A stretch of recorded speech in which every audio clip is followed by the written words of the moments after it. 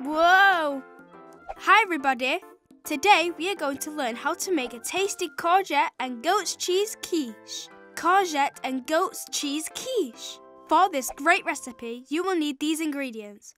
Some short crust pastry, one courgette, two eggs, two tablespoons of cream, 100 grams of fresh goat's cheese, and some salt.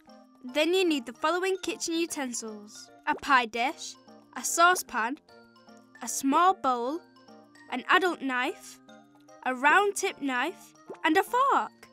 Ask an adult to preheat your oven to 190 degrees centigrade.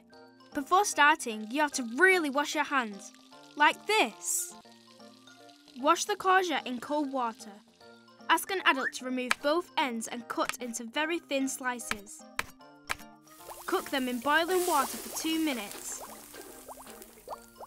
And then drain them. Let them cool down really well so you can pick them up in your hands later.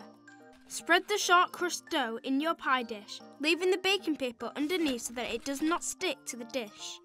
Take a fork and make some small holes in the dough. This is fun.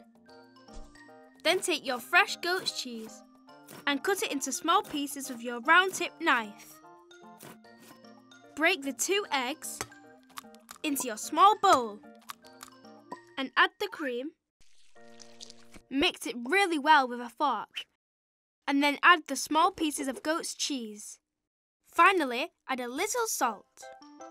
Pour the mixture over the dough. And place the cooled courgette gently on top. Ask an adult to cook the quiche for 30 minutes. And that's it, it's ready. Mmm, I love courgette. It gives me a lot of strength and vitamins.